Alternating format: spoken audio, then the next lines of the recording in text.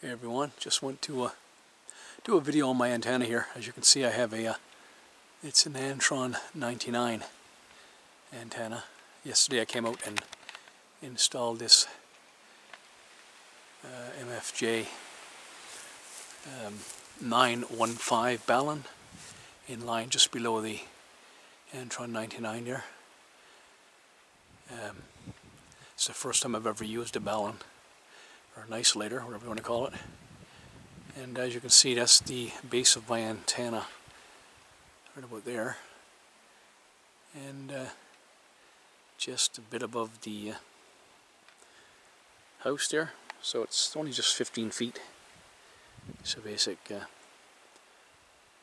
low profile setup. Never had any issues with the antenna. Had some ice buildup on it one time, but it survived that. But uh, the trick is uh, not to come out and try to bang the ice off the unit, uh, your antenna. It's best to let it try to come off uh, naturally. But, uh, there you go. There's the a better shot of the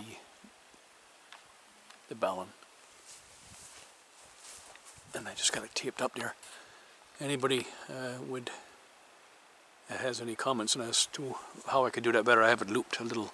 The wire is looped on the side. It's a bit long. I didn't want to drop it too down down too low. Uh, I do know that this coax is not the greatest. I should replace that at some point. I got to measure off uh, what I would need. But uh, there's some nice heavy wire there on the top of the balun going into the antenna. Anyway thanks for watching.